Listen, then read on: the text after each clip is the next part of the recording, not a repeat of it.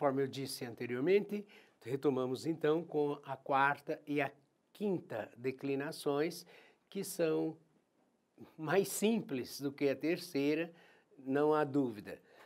Uh, na quarta declinação, ela segue a declinação de cantos, cantos.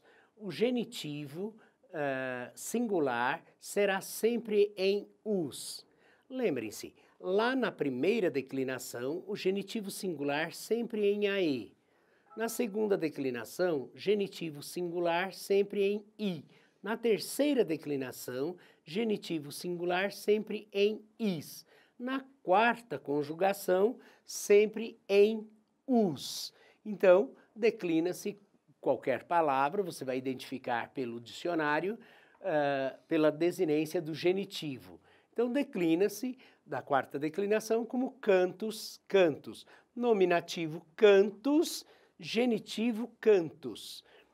No dativo, cantui. No acusativo, cantum. No vocativo, cantos. E no ablativo, canto. No plural, os cantos é, cantos, cantum, dois us aqui, canto um. Cantibus no dativo, no acusativo cantos, no vocativo cantos e no ablativo cantibus. Uh, gostaria só de, de salientar que no latim não existem as palavras oxítonas. Ou são paroxítonas ou são oxítonas. Quando eu estou falando com vocês, no exemplo agora, foi o que me chamou a atenção, canto um. Essa tonalidade que dei no um foi só para salientar que, uh, que são dois us e mostrar essa diferença. Não que a palavra seja, na pronúncia seria cantum, cantum paroxítona e não oxítona.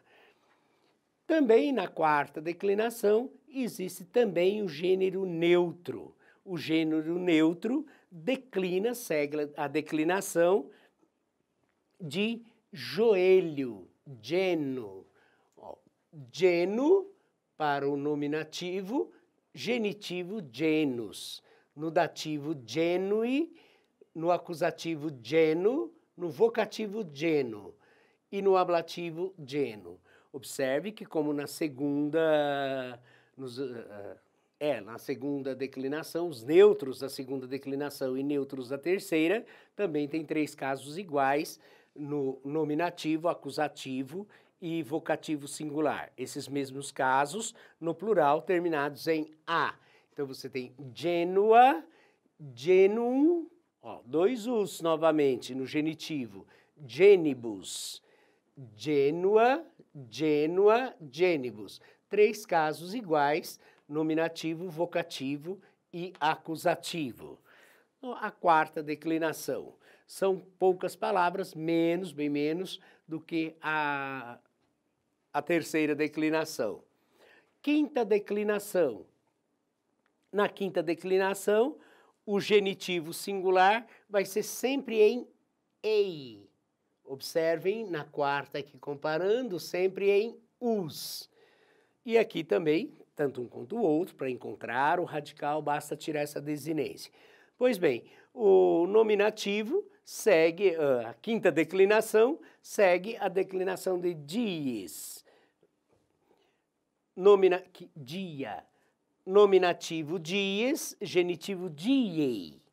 No dativo diei, no acusativo diem. No vocativo dies, igual ao nominativo, e ablativo die. No plural, dies, nominativo plural, genitivo plural, dierum. No dativo, uh, diebus. No acusativo dies, uh, acusativo plural, no vocativo diz, também ó, os três casos iguais aqui na quinta declinação e no ablativo diebus.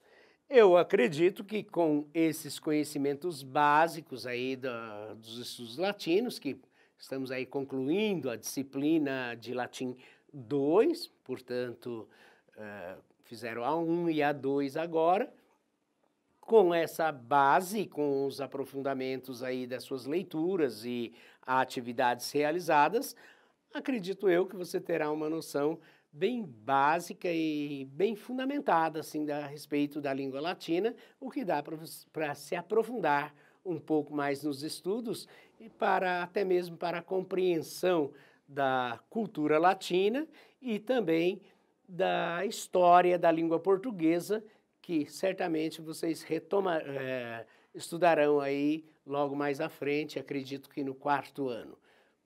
Muito obrigado a todos e um bom trabalho, um bom estudo.